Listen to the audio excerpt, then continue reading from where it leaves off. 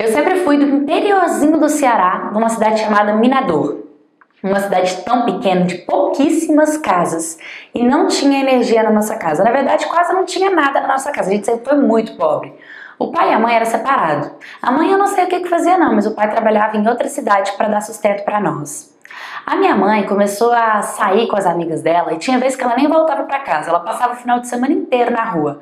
Depois passou a semana inteira na rua e a gente ficava sem comer. Pois é, às vezes a gente torcia, a gente chorava para a galinha que a gente tinha no nosso quintal botar um ovo para a gente poder fritar para comer com farinha. Às vezes a gente pedia para os vizinhos, às vezes pedia para minha avó, mas assim, todo mundo era pobre. Ninguém tinha condições de ficar sustentando nós. Eu lembro que a minha irmã mais velha vivia subindo no fogão de lenha para acender o fogão para poder fritar ovo para a gente. E a gente comia muito mal, passava muita fome, abandonados de verdade. Era eu e mais quatro irmãos. Até que um dia a avó mandou uma carta pro pai, lá na cidade dele, falando que a mãe deixava a gente sozinho semanas e que a gente estava passando muita dificuldade, muita fome. Eu lembro que a gente estava muita fome mesmo, tentando dormir para poder não ficar sentindo né, o vazio no estômago e fomos acordados por meu pai. E ele tinha levado pão, café, leite, biscoito. Nossa, mas foi bom, a gente comeu muito.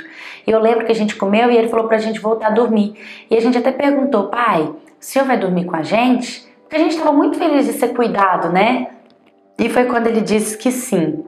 Só que a mãe não podia saber. Não sei porque a mãe não podia saber, só sei que ela não podia saber. Só que quando a gente acordava, o pai não estava mais lá. Mas ele sempre voltava. Ele não deixava a gente não. Só que ele não ficava lá em casa, acho que era para não chegar a minha mãe chegar lá com outro homem, tal, e acabar sendo assim ruim, né, para eles. Até que um dia a gente pediu pro pai levar a gente para morar com eles. E ele foi e pegou. Ele pegou três para morar com ele, dois para morar com a minha mãe. E a minha mãe não tava nem aí. Minha mãe nunca ligava, minha mãe nunca se importava, minha mãe não queria saber da gente. Minha mãe tava nem aí mesmo. Até que ela engravidou de um cara que rejeitou ela e o filho. O nenê nasceu. Com dois anos de idade descobrimos que ele tinha problema nas pernas. Uma doença pouquíssima, pouquíssimas, é, assim, conhecida, sabe? e tinha que ficar internada e tal. E ela, cansada de tudo aquilo, decidiu abandonar ele junto com os irmãos que estavam na casa e foi embora para São Paulo. E lá foi o meu pai cuidar dos meus irmãos que moravam com ela e do filho dela que ela abandonou. O meu pai, que não era nem pai do meu irmãozinho, que ficou com ele no hospital e não desistiu dele e tratou ele como filho. Nessa época, eu fui crescendo, fui crescendo, crescendo. Nos meus 16 anos de idade, eu acabei casando com um cara e tendo filhos. Só que era um relacionamento muito conturbado. Nessa época, já fazia anos que eu não falava com a minha mãe. Desde os meus 5 anos de idade. Eu não via o rosto dela, eu não ouvia a voz dela. Então, sabe quando você meio que vai esquecendo quem é a sua mãe? Aconteceu isso comigo. Os meus irmãos mais velhos foram todos para São Paulo procurar emprego, porque a vida lá na nossa interior era precária, não tinha emprego pra gente.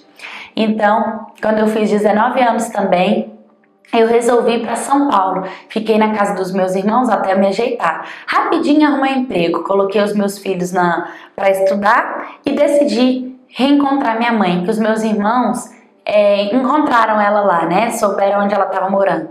Quando a gente chegou no portão, eu, os meus filhos, o neto dela, ela demonstrou uma frieza tão tão assim desagradável, parece que a gente estava incomodando ela, sabe? Ela não demonstrou entusiasmo, ela não veio, não puxou assunto, nada. Parece que quanto mais cedo a gente fosse embora, melhor para ela.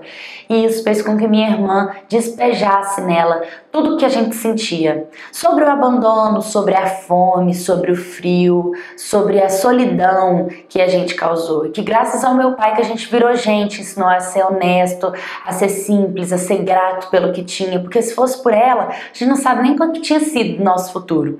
Ela ficou com muita, mas com muita raiva de todos nós, porque a verdade deve ter doído, né?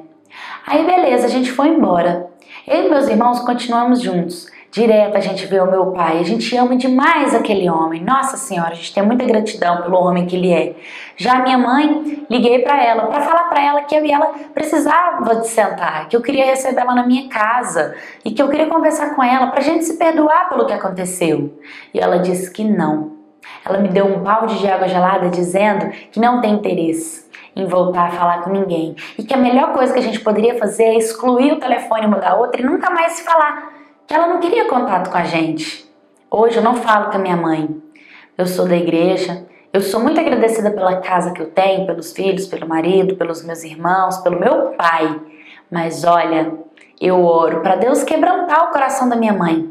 Ou mulher do coração de pedra, coração de gelo, dizendo ela que ela é assim pelos motivos dela e que eu nunca entenderia. O que eu acho engraçado é que eu não sou mais uma criança. Eu, eu, eu hoje consigo entender. Ela poderia me explicar. Mas na verdade é que não tem justificativa para você abandonar um filho. Oi, oi, my cats, tudo bem com vocês? A história de hoje fala sobre uma situação bem difícil, né? A gente pensa assim que, ah, é de outro mundo, a pessoa que não tem energia em casa, que não tem água, assim. Gente, tem muitas pessoas no Brasil que ainda passam por essa situação. E o pior, ser abandonado pela uma mãe, né? Por quê? Porque o abandono da mãe gera vários tipos de traumas, de desequilíbrios psicológicos. Graças a Deus eles tiveram um pai, né, que sustentou essa família com todo o amor do mundo. Então, para vocês verem quanto é importante a presença do pai, né, numa família, numa estrutura, a presença da mãe também. Mas é isso, se você já passou por alguma situação do tipo, me mande sua história, deixe nos comentários o que você achou da atitude dessa mãe. Você teria coragem de abandonar o seu filho? Você já deixou seu filho com alguém para você resolver a sua vida? Me conte sua história, deixe nos comentários, curta, comenta, compartilhe, se inscreva no canal. Um beijo até o próximo vídeo.